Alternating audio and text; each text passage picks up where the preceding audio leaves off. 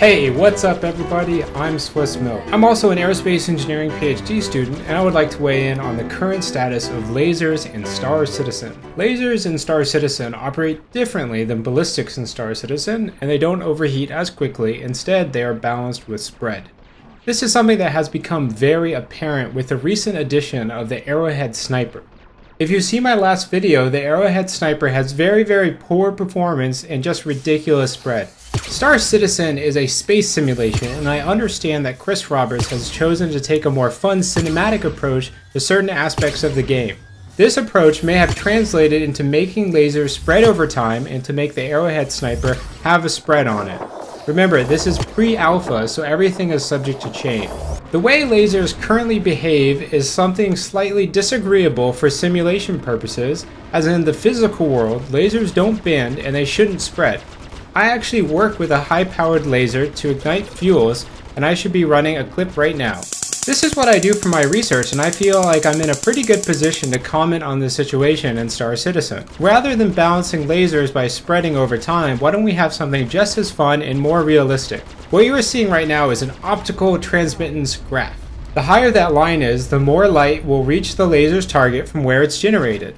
So if it's 100%, then 100% will reach the target. If it's less than 100%, the rest is reflected or absorbed. Currently, lasers overheat and eventually they will lock down. That's all good because lasers do get hot and even the lasers in my lab have water cooling in them. If I run my lasers too high or too long, they will overheat and eventually break, but the lasers never spread. So back to the chart. What happens if you run a laser through a lens which is required to get a highly energetic, highly focused laser. Even the really good optical surfaces are only 90 to 99%. So what happens to the rest of the laser energy? Well, it gets reflected around the room and that's what causes the flashing. The remaining energy gets absorbed into the optical material. This is important because the laser energy will heat up the optics and as they get hotter, their capacity to be invisible to light will worsen. If the optics get hot enough, the laser will start to deform the crystals in the glass and you won't have a clear optical surface anymore or the beginning transmittance. This is really interesting for Star Citizen because in the future, while the glass they use might be 99.99% effective, the lasers they're using are much more powerful and that 0.01% will still be a force to be reckoned with. So lasers should go where they're pointed every time, but if you fire the laser for a long period of time and you don't give it a chance to cool down, the energy reaching the target goes down and the damage it deals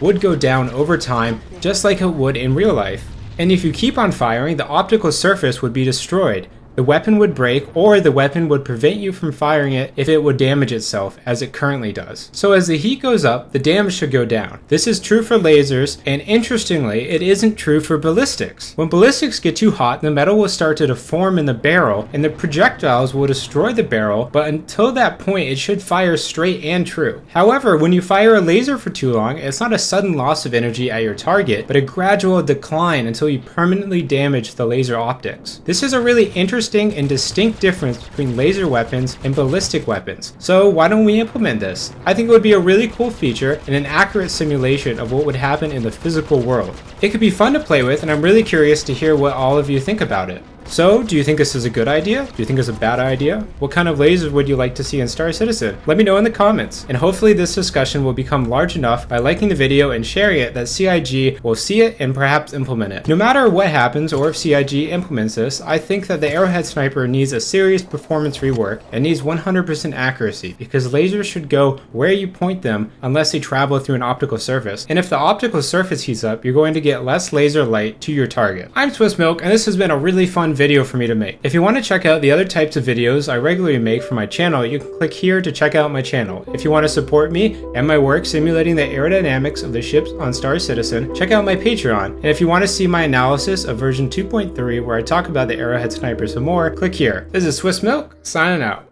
Peace.